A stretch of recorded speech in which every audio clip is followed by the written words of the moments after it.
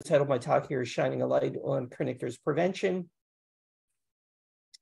Uh, before I get going, I really have to give a lot of credit to the rest of our uh, bilirubin guideline um, uh, committee whose names I've uh, listed here. I'm not going to read them through, but um, as the screen says, um, uh, and it's 100% true that teamwork does uh, make the, the, the dream work. And I was very lucky to have such a, a great group of people to work with. So um, sadly, I have uh, no financial relationships to disclose, and I won't be talking about uh, any unapproved drugs or devices.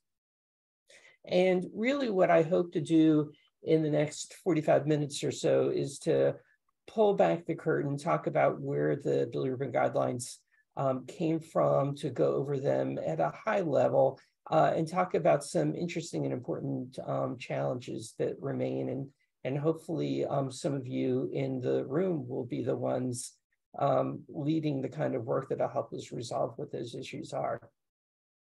So in terms of the learning objectives, at the completion of this presentation, you will be able to break down the various strategies to prevent and monitor for the development of hyperbilirubinemia, implement um, treatment for neonatal hyperbilirubinemia, including phototherapy and exchange transfusion, list opportunities for quality improvement, and um, identify research opportunities to improve care related to neonatal hyperbilirubinemia, and ultimately to light the way to chronic kernicterus prevention. And it was kind of funny, while I was waiting to get going with my talk, I, I looked closely at my learning objectives and I was kind of surprised at what it, it spelled out. Obviously, I, I have uh, bilirubin on my mind um, too much if, if that kind of thing just, just sort of happens. So I want to begin. This is my only like physiologic, basic sciencey um, uh, kind of slide. Actually, I take it back. There's going to be one more later, but it's it's not grand rounds if you don't show this kind of slide. And I I do this mostly just to make sure that we're all on the same page in terms of thinking about where bilirubin comes from. So, um, as everyone knows, um, bilirubin is a byproduct of the breakdown of um, red blood cells, and it uh, normally is um, uh, metabolized and excreted um, from the liver, uh, where it's bound to um, bile and gets excreted. Now, babies are born with a large mass of red blood cells. They have uh, mostly um, uh, uh, fetal hemoglobin, and as they make the transition to extrauterine life, a large uh, mass of red blood cells is, is broken down, leading to increased um, bilirubin production and the um, relative immaturity of the liver all contributes to the um, increasing levels of bilirubin that we normally see. Um, it's important um, to think also about what happens when we um, use phototherapy.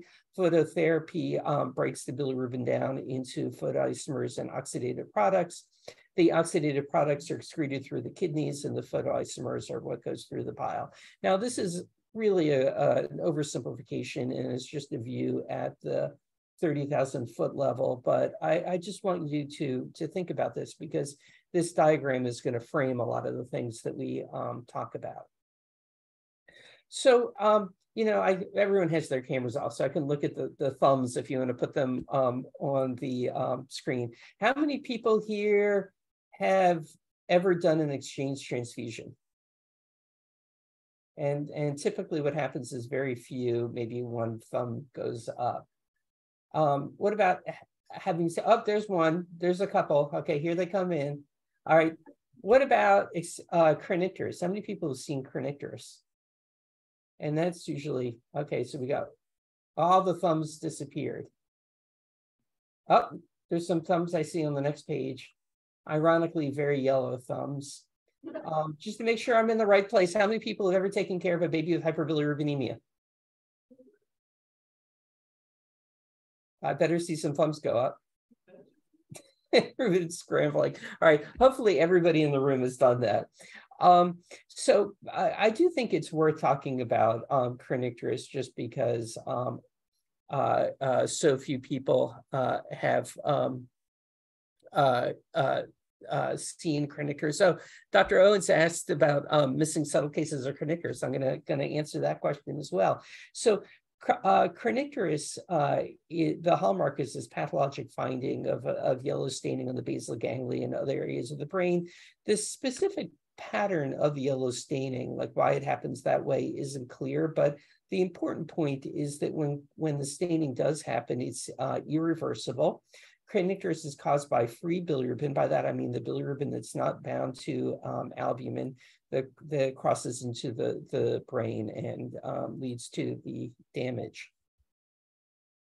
Um, is oftentimes broken into an acute phase and a chronic phase. The acute phase um, is associated with hypotonia and seizures, which progresses to hypertonia, epistaxis, retrocollis, and um, fever. Epistaxis and retrocollis refers to the to really uh, stiffening of the, of the back and the neck, which I'll show in a little bit. And then um, there's persistent um, hypertonia, uh, and then things um, flip over to a chronic phase. And the, the hallmark of the chronic phase of um, kernicterus is the choreoathetosis, the, the real uh, uh, significant uh, movement disorder that, that impairs the affected individual from, from really uh, achieving um, purposeful movement. There's upward gaze palsy um, and uh, hearing loss, that, uh, also associated with um, kernicterus is a dental enamel um, hypoplasia. But it's the movement disorder that, that's really a hallmark of um, uh, kernicterus. Now, I'm going to show some pictures again because most people um, haven't um, seen this of the retrocollis and epistaxis. You can see that baby with the the, the head that that's um, severely brought back and the, the arched back. Um, uh, here uh, is a photo of, uh, of another baby. Um, uh, here's an, an infant. And I, I, I call your attention to this infant as well, because if you look at the way the eyes are, are um, the eyelids are pulled um, way back and, and the baby has a, a specific uh, facial look. That's also a um, hallmark of the early stages of kernicterus. Um, and uh, here's another baby where you can see the, the, the facial expression as well. So there's a term that that that is oftentimes um, uh, brought up, and I I'm going to discuss it a little bit, and then I'm not going to use it at all um, moving forward, and I'll explain why in a second. So bilirubin-induced neurologic dysfunction, sometimes referred to as, a, as BIND, is a term that's used to describe a score, um, is a score to describe the severity of acute bilirubin um, encephalopathy. Um, bilirubin-induced neurologic dysfunction is also uh, uh, sometimes used to describe all the clinical findings associated with hazardous hyperbil hyperbilirubinemia, like hyperbilirubinemia is uh, in excess of um, 30 milligrams per deciliter. Um, bilirubin-induced neurologic dysfunction is also a term that's used to refer to the subtle neurologic findings that, that have been attributed to um, bilirubin exposure. So uh, uh, neurocognitive issues that maybe don't rise to the level of um, kernicterus. Going to revisit that in a second. But um, given the confusion around this term bilirubin-induced neurologic dysfunction, and then the complete lack of data that the treatment of hyperbilirubinemia prevents any subtle neurologic findings, uh, I'm not going to discuss this any further. I think this is a term that just confuses things um, more more than any. So certainly there may be you know more subtle um, neurologic impairments associated with chronic kernicterus. But um, getting back to the questions in the chat, there's actually no evidence that that intervention would actually prevent that from happening. So how often does um, kernicterus occur? It's it's it's really difficult to get a sense of the prevalence or the incidence of chronic kernicterus because there's no kernicterus um, registry. And so I like to look at this um, uh, figure, which is a, um, a slide from um, uh, California from 2007 to 2012, where they just looked at um, uh, different levels of um, bilirubin. And uh, I just draw your eye to the green line at the bottom, which shows the uh, number of babies per 100,000 who um, ended up getting an exchange transfusion. Based on numbers like this, um, just as a uh, a general number that you can keep track of in your head.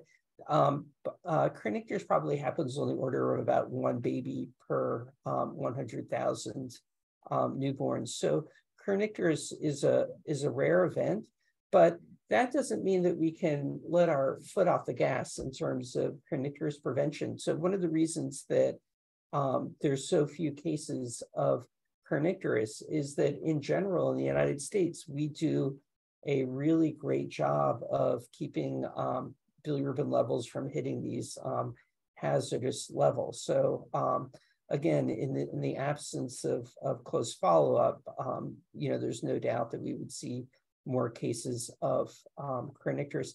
It's interesting that because we have no kernicterus registry in the United States, um, the way that I've learned a, a lot about uh, uh, cases is because they oftentimes come to attention to the legal system, and and that's how you, you can find out what's going on um, in in terms of what led to the kernicterus.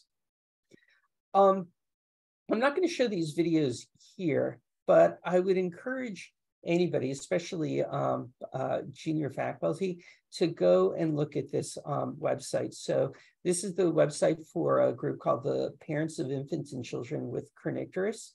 Uh, it's an uh, advocacy organization where, among other things, they put together these um, videos of um, children who um, uh, have kernicterus. And um, these videos do a much better job than I would ever be able to do in terms of pointing out the um, you know the significant neurologic impairment that's associated with kernicterus. It's really well worth your time to to um, look at these, and they're great for teaching um, as well. So in terms of the, the causes of kernicterus, and like I said, a lot of these, the, the reason I know about them is that they come to legal attention. Um, so uh, they, they sort of come into two buckets. So there, there are many cases that are preventable that, that are either due to um, not following um, the, the guideline and, and, appropriate treatment or the issue of inadequate follow-up. So uh, a baby who, you know, was, you know, needed to have uh, subsequent bilirubin testing and for whatever reason, the baby didn't make it to um, uh, outpatient care. That's really the, the bulk of um, cases of um, kernicterus, but there's also cases due to um, unrecognized hemolytic conditions like um, G6PD deficiency. I'm going to really drill into G6PD deficiency in a bit, but um, G6PD deficiencies, I think many of you know, um, can lead to uh, massive hemolysis when children are exposed to an oxidative stress and you know, as I've talked to, I've talked about G6PD deficiency a lot. You know, somebody made the point that like everything about being born is probably an oxidative stress, but um, it's difficult to know who has G6PD deficiency. Uh, and these babies can go home and be exposed to something and have um, significant hemolysis and come in um, uh, with acute bilirubin encephalopathy. So the one case of kernicterus that I've ever seen in my um, uh, career was a, a, healthy baby who was discharged from the newborn nursery. And the family had a tradition that they would wrap the baby up in a blanket that was handed down from generation to generation. And after they wrapped the baby up in the blanket, they would take pictures and, you know, store the blanket for the, the next birth. And of course, they stored that blanket um, in a, a, bin that had um, mothballs in it, which is uh, powerful oxidative stress. So that baby came in with a bilirubin level of about 40 and had uh, significant retrocollis and epistaxis and, and went on to um, uh, uh, develop um. So that's that's an example of the kind of thing that can be hard to predict, but obviously have a, a significant impact on the infant. Um, I'm going to do a little bit of history now because um, talking about how we got to where we are, I think puts things into perspective in terms of um, the, the new guidelines. So um, in the 1950s, it was common to perform exchange transfusions at levels of 18 and 20 milligrams per deciliter um, for um, RH incompatibility, which was one of the, the big causes of severe um, hazardous hyperbilirubinemia and over time, that was kind of generalized to ABO incompatibility. So there was a period of time that it was common to do an exchange transfusion at um, 18 to 20 milligrams per deciliter. Um, in the 1960s, there was recognition that maybe 20 milligrams per deciliter was too low, um, especially for babies without um, hemolytic disease. And then in 1968, um, RhoGAM came out. So RhoGAM is the anti-RH um, antibody. It can um, uh, keep um, uh, uh, pregnant um, women from uh, becoming sensitized to um, RH, which would then, you know, uh, cause problems with the, the next pregnancy. RhoGAM was was uh, approved in the U.S. in um, 1968 um, for um, use um, during pregnancy and then shortly um, thereafter. And, you know, without a doubt, this has been one of the great public health success stories of all times in terms of reducing the um, risk of kernicterus by um, uh, preventing RH uh, sensitization. So I'm going to put exchange transfusion on hold a little bit and um, talk about phototherapy. So this is Sister Jean Ward. Okay, so Sister Jean Ward is, always gets the credit for being the person that I uh, identified that um, phototherapy could um, uh, help eliminate jaundice. If you're, you know, ever on Jeopardy, or I don't know if this would come up on the maintenance of certification, you know, MOCA questions. If you ever asked who who came up with the idea of phototherapy, who's who's credited, it's Jean Ward. Sister Jean Ward. Although I, will tell you that, that from doing my homework, I actually found that, that this had really been known for, for hundreds, if not thousands of years, that, that there was something about exposure to the sun that reduced the risk of um, jaundice. So um, this is an article from the Lancet in the 1950 in, from 1958, and I just, just want to read this. The sister in charge of the unit had earlier reported the apparent fading away of the yellow pigmentation in the skin of jaundiced babies when they had been a short time in the sunlight, it was decided, therefore, to expose jaundiced infants to sunlight to assess the results quantitatively by serial determinations of serum bilirubin. And so this was really the, the work that, that led to the scientific proof of the benefit of um, exposure to phototherapy. Um, this was a, a, later study, if you look 1968, about 10 years later, by um, uh, Jerry uh, Lucey, who is at the University of Vermont. I always like to, to point out his name because he was um, uh, a former editor of um, pediatrics as well. This shows the, the benefit of um, phototherapy in terms of um, keeping infants from uh, developing uh, higher levels of bilirubin. So you can see phototherapy down there, control up there. This is one of many studies that showed the benefit of phototherapy. And, um, you know, at this time, uh, Dr. Lucey was really upset that, that phototherapy wasn't being more broadly uh, adopted.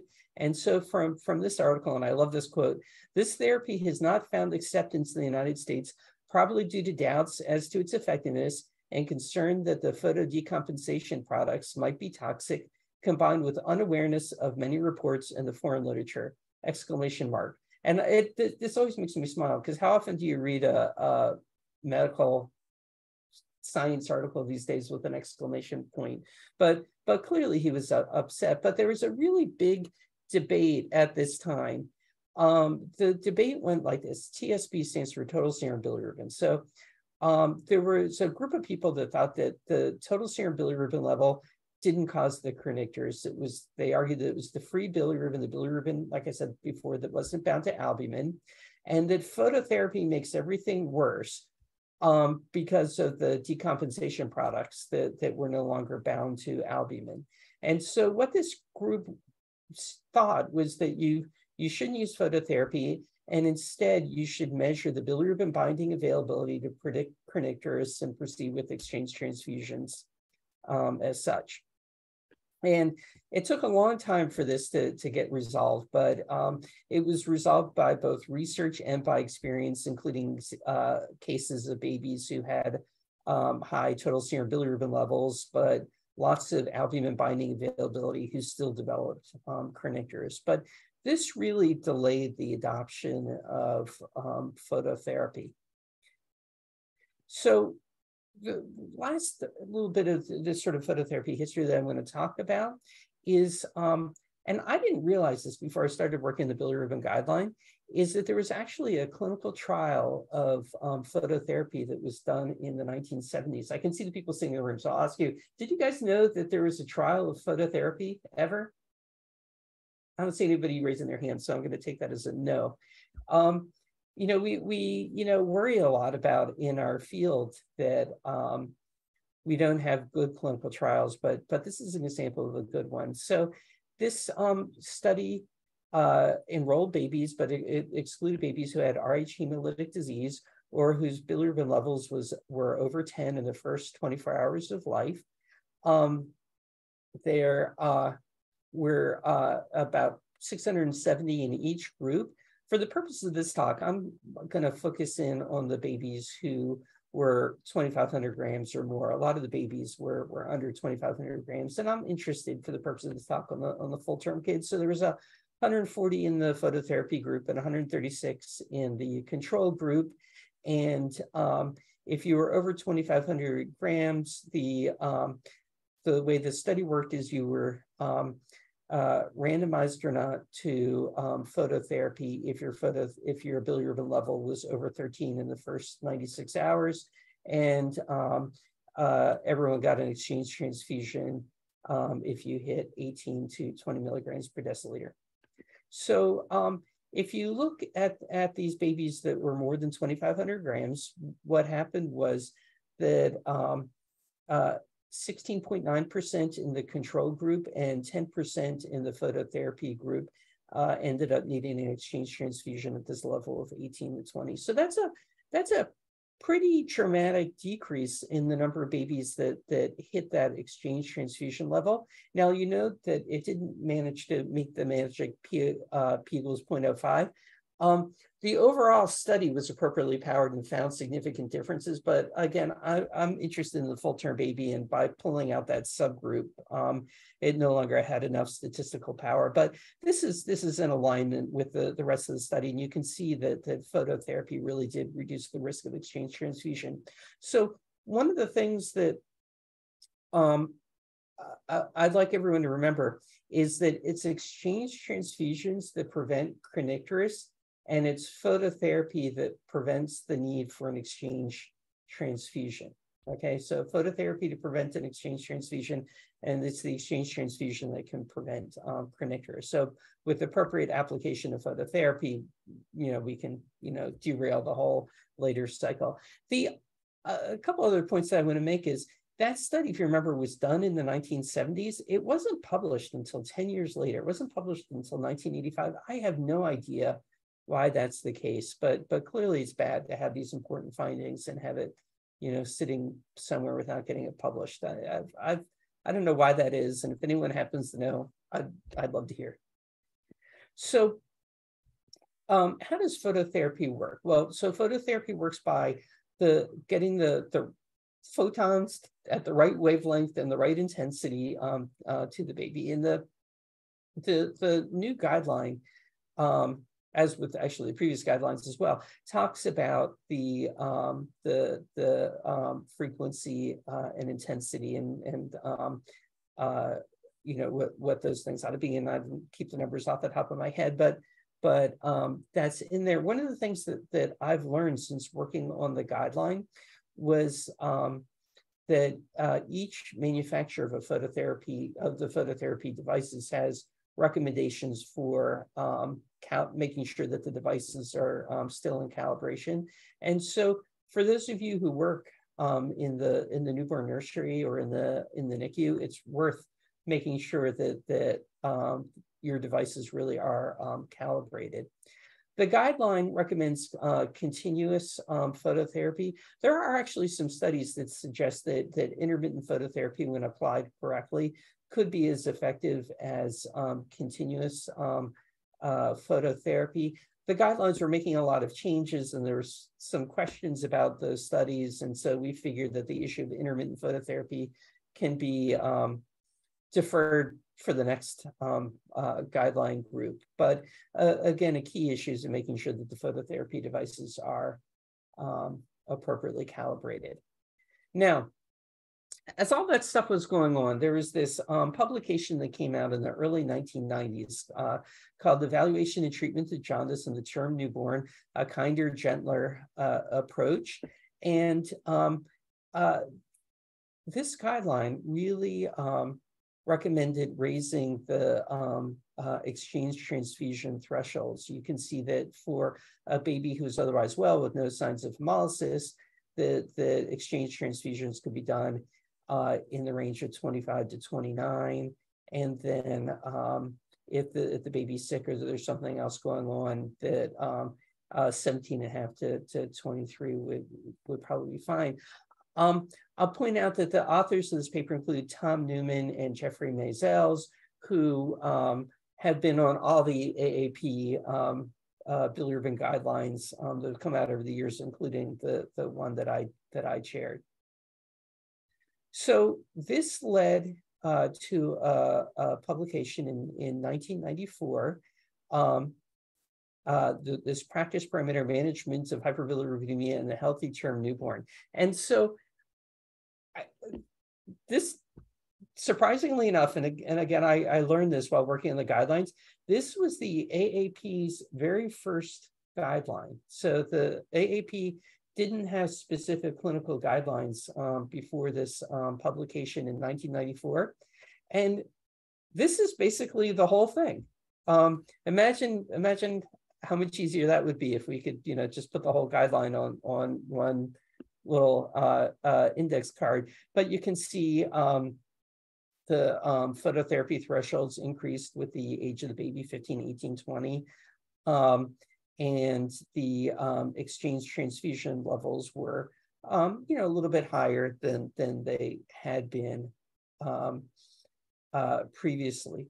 So I was actually pretty interested to find out when this came out, how did that change the delivery of care? How many fewer babies ended up getting phototherapy or exchange transfusion? So I looked high and low, and the only thing that I could find was this study that was done in um, two hospitals in Israel. So I I don't know you know how generalizable this is outside of uh, uh, Israel, but it does suggest that there is a big drop in the use of um, phototherapy from about um, uh, eight percent to about three percent, and exchange transfusions fell uh, by about an order of magnitude from 0.2 um, percent to um, uh, 0.03%. So these are pretty big drops. And, you know, I, I like to point out that the exchange transfusion threshold was pretty low, right? That, that 18 to 20 milligrams per deciliter.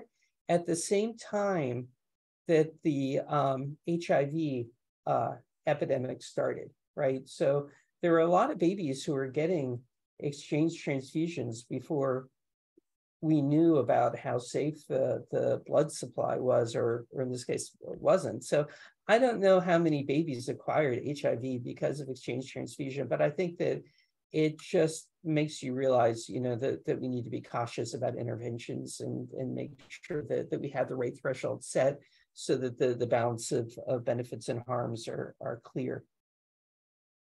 All right, so now let's move to um, uh, 2004 uh, which was the next revision of the guidelines. So there was the 2004 guideline, and um, uh, five years later, there was a, a commentary that was uh, uh called an update with clarification. So the 2009 commentary actually did not replace the, the 2004 guideline and actually was never official like AAP policy, but it, it added color commentary and, and further um, explanation, and people tend to think about the two things as a as a group. So one of the um, I'm going to just make sure. Oh, nothing new in the chat.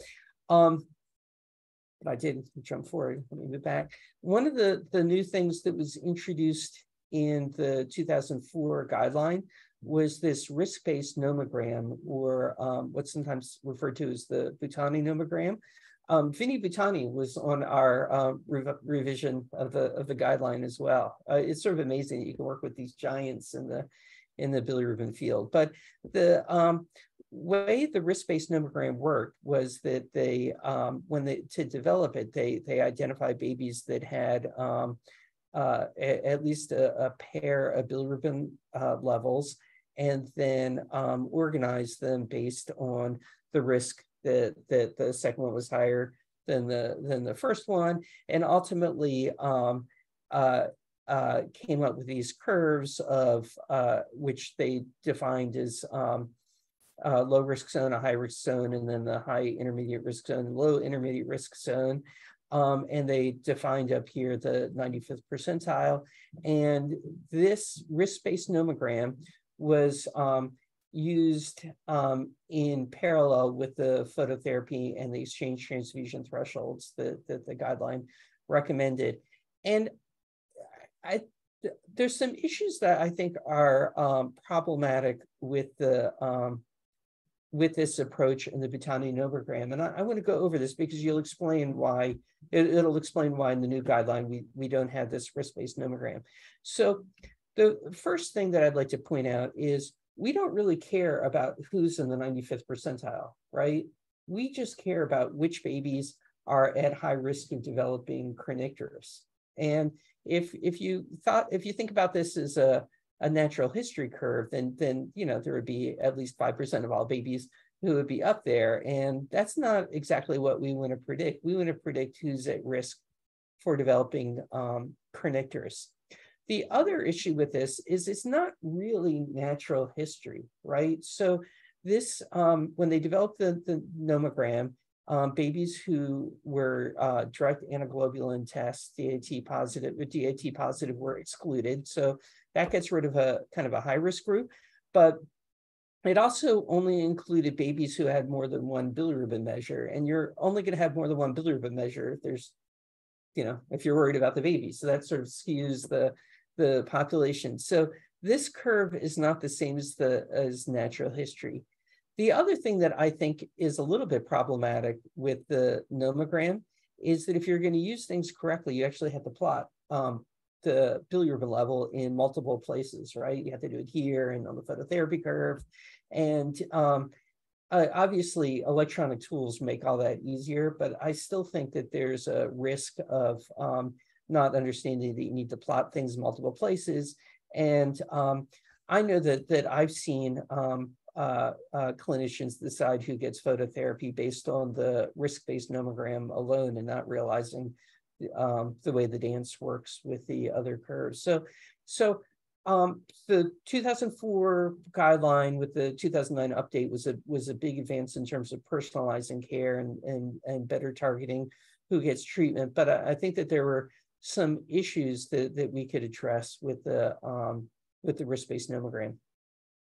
So our goals um, for the, the new guideline were to simplify and clarify things.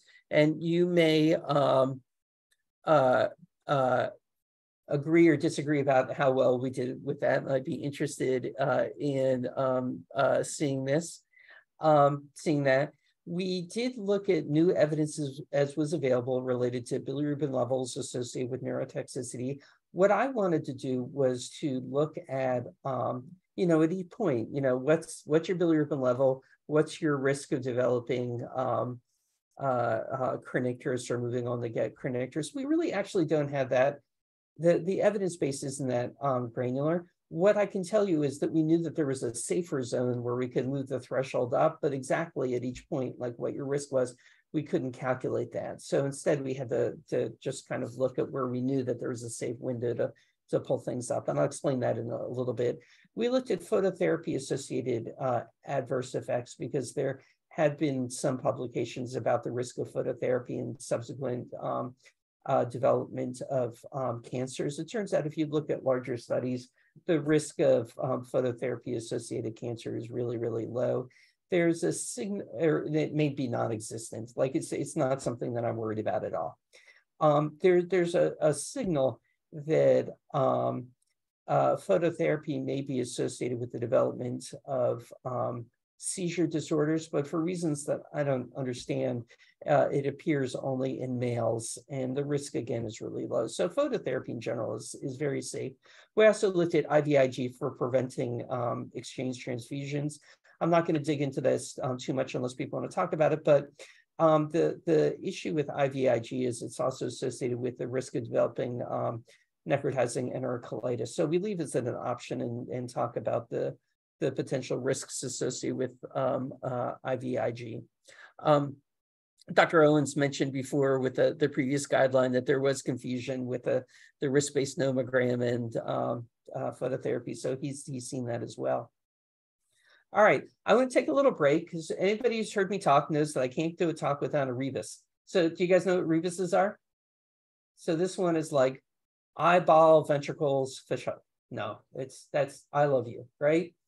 So I'm gonna I got I'm looking at the chat. Dr. Jayashankar, maybe you can you can help if you hear something too. Okay, ready? We're gonna do this quick. You ready? Here's the first one. Think about the topic. Anyone have any idea? You can put it in the chat too.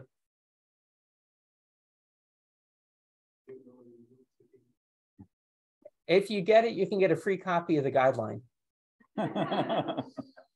okay, I didn't hear anything, but maybe you can tell me later if you got it right. This is jaundice. Oh.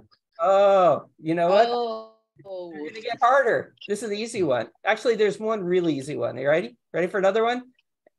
Anyone? Can anyone get that?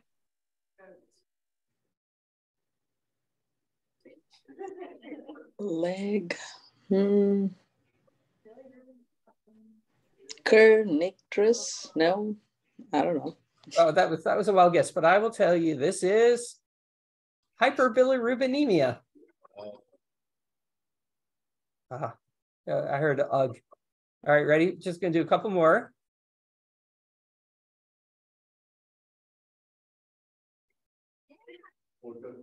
Phototherapy.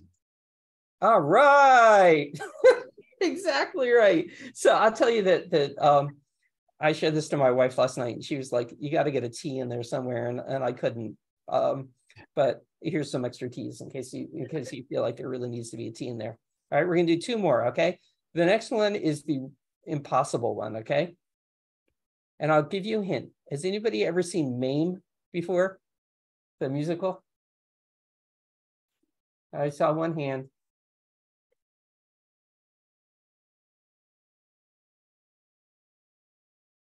All right, I'm gonna I'm gonna show you this one, but but remember this, okay? Burn this into the back of your head. You ready? That's right. It's the direct antiglobulin test. Okay, ready? Now, if if everyone misses this next one, I'm gonna be really disappointed. Okay, Do, does everyone have this like memorized? Somebody nod your head.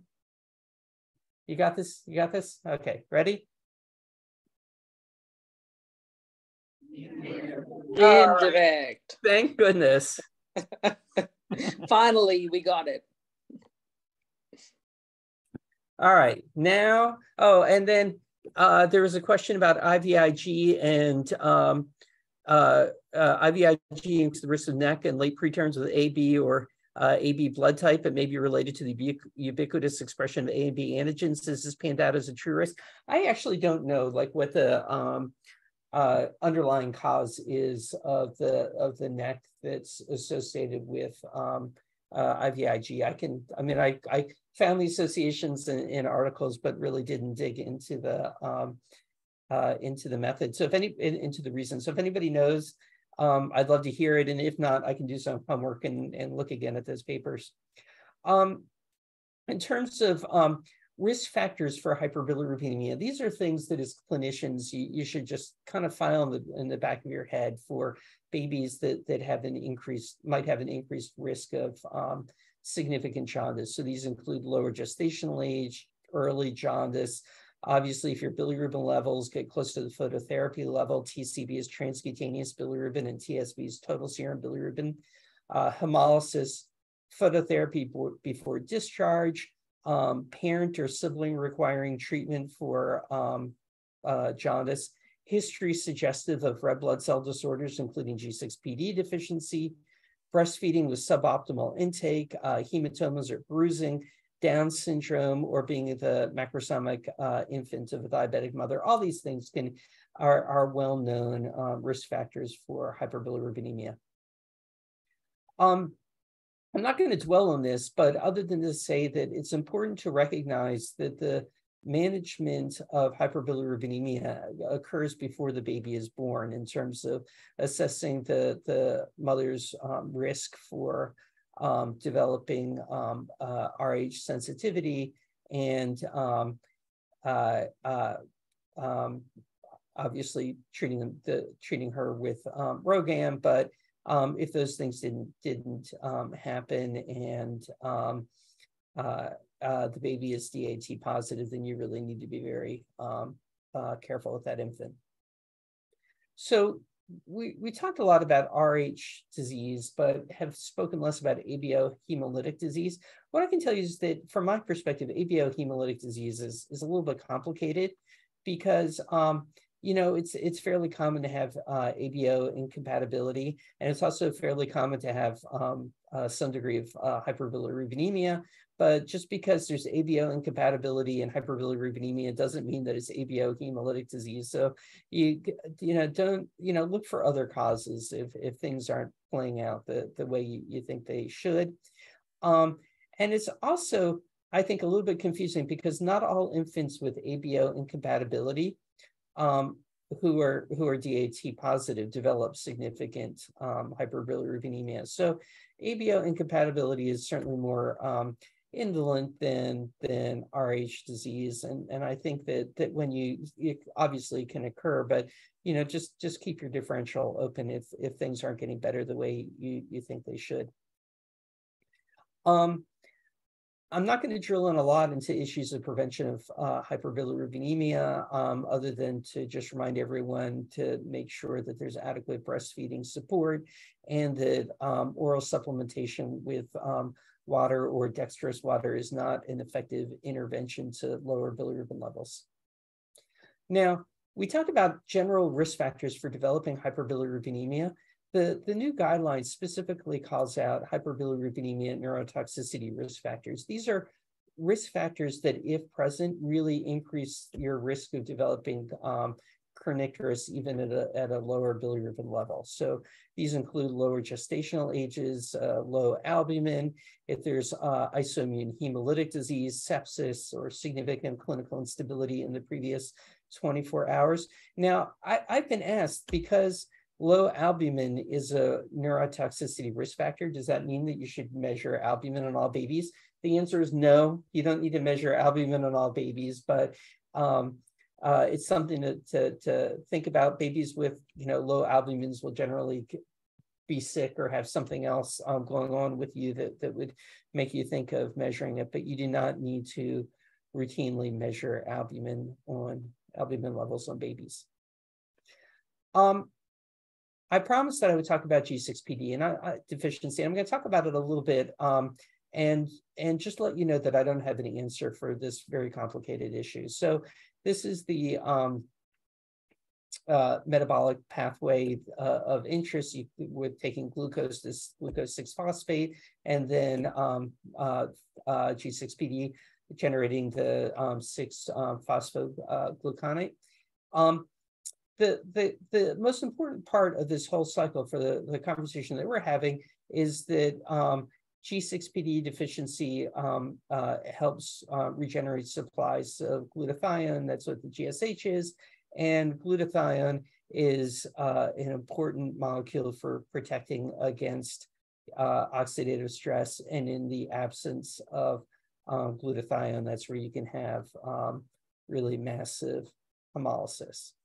So the guideline recommends universal precautions about avoiding um, oxidative stresses. And if you go to the webpage where the guideline is, there's a parent handout in, in English um, and in Spanish. And, you know, there's the classic oxidative exposure that we always think about, which is fava beans. I don't think I've ever actually had a fava bean. I'm a, I don't know, maybe missing out on something good, but um, there's fava beans, the sulfa drugs, henna. We talked about mothballs before. There's actually a long laundry list of um, uh, potential oxidative um, stresses. And it's it's my general approach that I think that we ought to just caution all um, parents about avoiding these um, oxidative stresses because it's very difficult to know who actually has G6PD deficiency.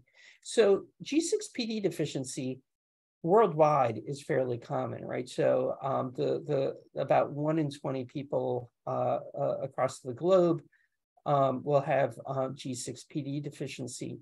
G6PD deficiency is um, strongly linked to um, uh, genetic ancestry so that we know, right, that, that race and ethnicity are poor proxies for genetic ancestry, but they can be helpful. And in this um, study of um, uh, adults in the military, you can see that, um, that there were many more um, self-identified um, African-American individuals who um, had uh, G6PD deficiency. G6PD deficiency is X-linked, and so that's why you see this this difference between uh, males and females. So you can see there are subpopulations that have a very high risk of um, having um, uh, G6PD deficiency. So what is it that we can do to identify um, individuals with G6PD deficiency? Well, the, it could be added to newborn screening, and there's some states that have included G6PD deficiency on newborn screening, but the problem is that the results don't come back in time, right? Like it's, you know, the, the baby's already been discharged. And then the other thing is, you know, it would be great if we had better science about whether if if you knew your G6PD deficiency status, if it if it changed outcomes for the infant. So because of this um, significant problem, and I should say that that there's no doubt that there's there's inequities in terms of who develops um, kernicterus. In this country, um, uh, Black infants are much more likely to develop kernicterus. Some of it's due to uh, issues related to um, uh, differences in, in care, poor care delivery, and others are related to um, you know these issues of, of G6PD deficiency that we're talking about. So New York just passed a, a a law that says that, that infants need um, G6PD deficiency testing if they present with anemia or jaundice. Um, from my perspective, once that happens, sort of it's too late, right? Um, if they come in with a bilirubin level greater than the 40th percentile for age and hours, why the 40th percentile, where did that come from? I, I don't know um, if they were uh, admitted for the hospital for jaundice following discharge. Again, if it's due to G6PD deficiency, it may be too late. And then if they have a familial, racial, or ethnic risk of G6PD deficiency, and this is taken directly from the legislation, and you can see who they list here. And you know that really covers a lot of people. And again, you know, there's this challenge of, of race and ethnicity are different from from um, ancestry. So I'm not sure what the right issue is around testing. We don't have an easy point of care test now for um, G6PD deficiency. I know that those are in development, but I, I, just put this out there so that you know that this is a, a problem that's not been um, resolved and, and one that I think is really important. Um, oh, and then uh, there, there, was a question about there's, there's a lab that, that can perform G6PD deficiency and it could be added to the DAT and blood type. I mean, that's what I was just in um, uh, New York talking about um, these issues of G6PD, and that's what they're doing in the in the newborn nursery. But the problem they're having is the G6PD deficiency test, which again I'm not an expert in, is taking a lot longer than those other things, and it's actually delaying hospital discharge. So again, I, I think it just just calls for this issue of um, having an easy point of care test. Um, so I, I sort of hit those things. I'm going to move forward a little bit. So when you're making decisions, I, I we started a little bit late. Do I have like another 10 minutes or do you guys need to rush off and save lives? I think, I, I think we have, uh, many of us have another 10 minutes and okay. uh, those who do not are can get All to right. their clinical activities, but okay. All right. I don't. I, I, I don't want to slow things down too much, but I'll, I'll go quickly and I'll just hit some highlights. Um, And I'm happy to stay afterwards too, if you have like particular questions you can ask me. But when you're making decisions about whether or not to, to start therapy, um, based on TSB, the total serum bilirubin levels, um, if you use transcutaneous bilirubin levels, you should measure the TSB if it's within three of the phototherapy level or if it's above 15. And um, importantly, uh, some measure of bilirubin levels should be measured 24 to 48 hours after birth or uh, before discharge if that happens earlier. Bilirubin is remarkably well behaved um, for most infants, and getting the bilirubin level between 24 and 48 hours can really help predict what you need to do. Um, if you uh, use transcutaneous bilirubin measures, you really should switch to um, serum bilirubin levels if there's been phototherapy within the past 24 hours, because that can mess up the transcutaneous um, reading. Um, I am going to talk about um, phototherapy during the birth hospitalization and um, just point out these um, the the two threshold curves um, that are in the guidelines. The one, the set to the left is if there's no hyperbilirubinemia neurotoxicity risk factor. The one to the right is if there's one or more neurotoxicity risk factor. Now, one of the things that I regret, I actually added this label on like right as it was going to um, press. In the footnote, it's it's clear that what I meant was no hyperbilirubinemia neurotoxicity risk factor other than um, gestational age gestational age is taken um, uh, care of uh, in uh, each curve. Um, uh, uh, for those of you uh, who use BiliTool or PD Tool to figure out about treatment thresholds, those have both been updated for these new curves. And um, for those of you uh, who use Epic, uh, I just got an email from them a couple of weeks ago that they're ready to roll this out in Epic, but it depends on which flavor um, Epic you have. Um, uh, and I kind of line these up so that you can see the phototherapy thresholds, how they how they differ based on um, whether or not you have a neurotoxicity risk factor or not. So I'm going to just leave this slide here for one second, um, which shows how we bumped up the, the, the thresholds for phototherapy if there are no known neurotoxicity risk factors, it was really a very marginal increase in the um, uh, levels, but ultimately could um, decrease uh, significantly the number of babies that need to get phototherapy. And uh, uh the bump up for those with no neurotoxicity risk factors was um, a little bit lower than it was for those without neurotoxicity risk factors. Um, uh, this just shows you how the AAP guideline has changed over time uh, and how this plays up with the increase in thresholds that we set. Um, this is the same thing for no neurotoxicity risk factors. So you can see it's, it's not a huge increase, but it's an increase enough that it really does decrease um, substantially the number of babies that, that are likely to go and have phototherapy. Once, uh, um, once phototherapy is started, we we recommend checking um, a hemoglobin hematocrit or a CBC just so that you have a baseline level in case they have ongoing hemolysis and you can see what happened. And um, after starting phototherapy, we recommend checking a total serum bilirubin level within the next 12 hours just to make sure that things are working out as you hope.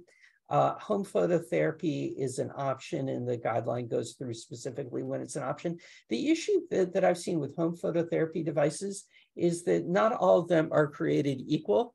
And there's some that, that just don't have like good LEDs in them, and it's unclear how much you're really treating them. The other thing is if you're going to use home phototherapy, you need to be, have a way to check bilirubin levels on those infants um, daily. Um, the guideline gives an option of stopping phototherapy when the TSB is down by two milligrams per deciliter below the threshold at which it was started. If you stop it at um, two milligrams per deciliter, that means your risk of rebound is between three and 5%. So you have a very low risk of rebound. But um, the problem is that if you start phototherapy very early, then driving two milligrams per deciliter below the threshold when it was started, it could take you a long time. But in contrast, if you have to start phototherapy really early, they might have some indolent um, issue going on that you're not aware of in terms of like some hemolysis uh, and, um, uh, that kind of thing. But I would say a common question comes up of, of why two milligrams per deciliter. And if you don't like two milligrams per deciliter, there's references in the guideline to uh, some other risk-based calculators. And I think it's fine to engage in, in shared decision making around what parents um, uh, our concerns are about uh, uh, rebound um, hyperbilirubinemia. You know, we all know that there's the parents that can't wait to get out of the hospital, and there are others for whom uh, readmission would be just just really difficult. Uh, escalation of care in the interest of time, I'm not going to talk a lot about it other than say we have new curves for exchange transfusion, and we define escalation of care is when you're two milligrams per deciliter within two milligrams per deciliter of needing an exchange transfusion. Uh, if you um, uh, if you um, uh, meet that threshold of escalation of care, that's a medical emergency. You need to be in a place where a, an exchange transfusion could be done, and you really want to um, be very vigorous in terms of um, phototherapy uh, and um, hydration, IV hydration to, to get the bilirubin levels down. Uh, I'm not going to talk more about exchange transfusions just because that doesn't come up a lot in, in the interest of time. What I would like to do is talk about what the new guideline recommends in terms of follow-up from the newborn hospitalization based on the phototherapy level. And that's down here um, in the figure. So this is for babies who did not require phototherapy during the birth hospitalization. The guideline is very specific about when you need to follow that baby up and whether or not they need to have a repeat bilirubin level based on how close they are to the phototherapy um, threshold and um, uh, their age at the time that you tested things. So this is, in, in a sense, replacing the Bhutani as well. And um, what I can tell you is um, uh, this is like incredibly predictive of the risk of developing um, uh, uh, jaundice at the level that requires phototherapy. So um, if you following this this guideline, many of you may not uh, see are used to seeing the statistics area under the curve. Um, uh, uh, an area under the curve of like 0.8 is considered to be a really good predictive model. This one um, uh, uh, uh, is you know well in excess of, of 0.9. Um, never in my career, in terms of developing predictive models, have we gotten anywhere near this close. And, and we validated this um, new approach using the uh, data from Kaiser Permanente, so a really large number of, of, of babies. And um, I just highlight this just to say it wasn't an arbitrary decision. So it's fine to use um, subthreshold phototherapy for babies who are close to the phototherapy threshold if they want to um, lower their risk of, of having to be readmitted. We talked about home phototherapy before. I want to highlight key action statement 25, which I'm not going to read in the interest of time, but just say that um, one of the big problems that, that I've seen is the lack of good coordination following discharge for babies who need to have um, repeat bilirubin levels.